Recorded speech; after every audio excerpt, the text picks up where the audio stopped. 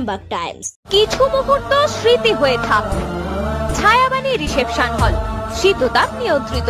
বিবাহ, অন্নপ্রাশন, উপনয়ন মিটিং ও কনফারেন্সের জন্য যোগাযোগ করুন।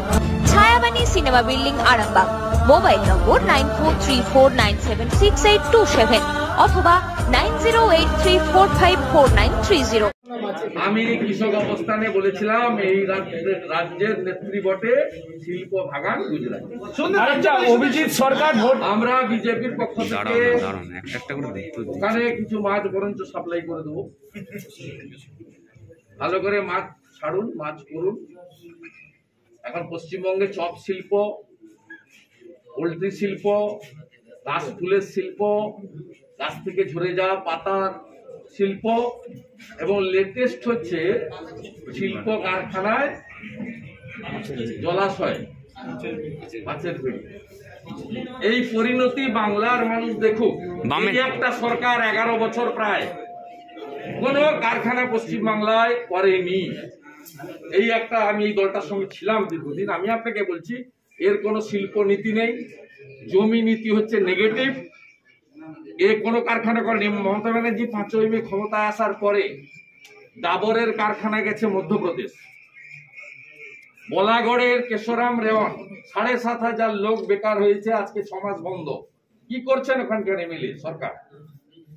চন্দননগরের গন্দলপাড়া জুট মিল, হাওড়ার জুট মিল, কলকাতার মানিকতলাতে একটি জুট মিল গত কয়েক দুদিন আগে। এই করে প্রায় তিরিশ হাজার লোককে পাঁচই মের পরে তাদের কাজ গেছে ডানকুনিতে বিস্কুট তৈরির কারখানা, সাড়ে তিনশো কর্মচারী। সব মিলিয়ে প্রায় কুড়ি থেকে তিরিশ হাজার লোকের কাজ গেছে। পশ্চিমবঙ্গ সর্বনাশের কানাগলিতে ঢুকে গেছে। পেনশনারদের সব বন্ধ। পিএফ এর টাকা, নিজের হকের টাকা চাইলে ফেরত পাবেন না। আমি পরশুদিন গিয়ে দেখি, বিধায়কদের বলা হচ্ছে, বিল জমা দেবেন না। বর্তমান বিধায়ক, প্রাক্তনদের তো আগে হয়ে গেছে।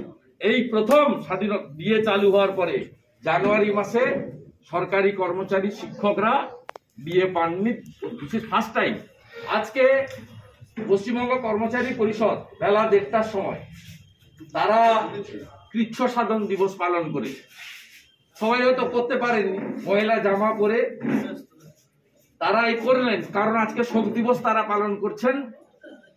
বিয়ের অন্তর্জলি যাত্রা মমতা বন্দ্যোপাধ্যায়ের সময় প্রথমবার ঘটলো জানুয়ারি মাসে।